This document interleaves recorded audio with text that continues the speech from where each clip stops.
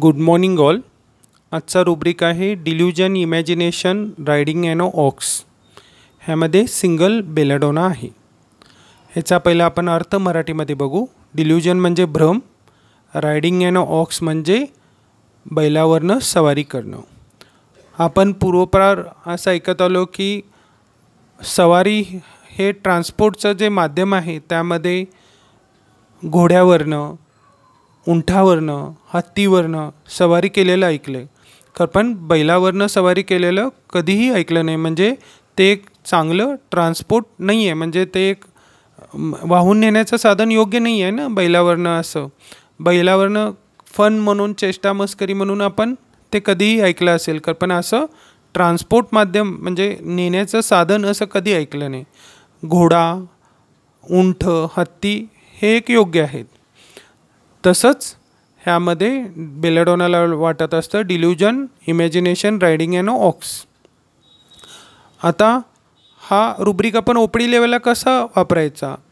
म्हणजे बेलाडोनाला असं वाटत असतं की ज्या डॉक्टरकडं मी गेलो आहे तो मला जास्त अटेन्शन देत नाही आणि तो माझ्याकडे व्यवस्थित लक्ष देत नाही. म्हणजे बाकीच्या पेशंटना तो जरी चांगला असला त्याला त्याच्याकडून गुण येत असला खरं पण मी ज्या वेळेला गेलो त्यानं मला व्यवस्थित ब्लड प्रेशर चेक केलं नाही माझी विचारपोस केली नाही आणि गडबडीत तपासून तो मला लावून दिला.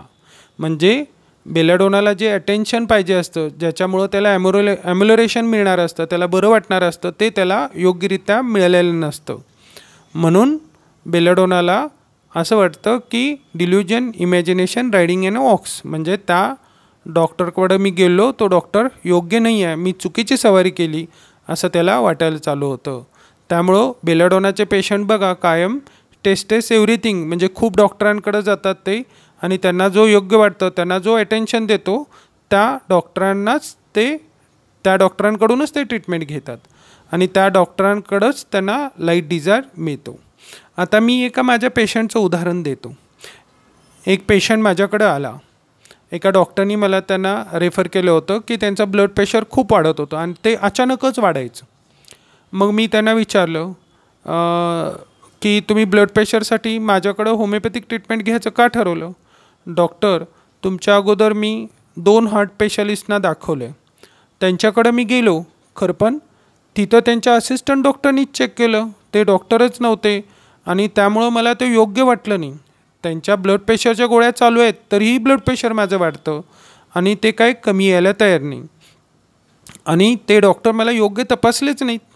म्हणून मी ठरवलं की आपण होमिओपॅथिक त्याबरोबर चालू ठेवू. म्हणजे संलग्न ठेवण्यासाठी ते होमिओपॅथिककडे आलं मग त्याची मी व्यवस्थित विचारपोस केल्यानंतरनं त्याला लाइट डिझायर पाहिजे होतं ॲटेन्शन ॲम्युलरेशन पाहिजे होतं.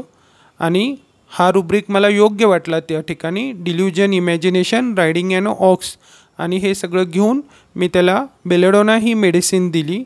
आणि इतकं वैशिष्ट्य छान की पंधरा दिवसामध्ये त्याला अजिबात ब्लड प्रेशरचा त्रास झाला नाही. आणि त्याचा जो रेसलेसनेस होता तो कमी आला. छातीत दुखायचं कमी आलं. आणि त्याला एकदम बरं वाटलं. अशा प्रकारे आपण हा रुब्रिक आपल्या ओपडी लेवलला घेऊ शकतो. Okay thank you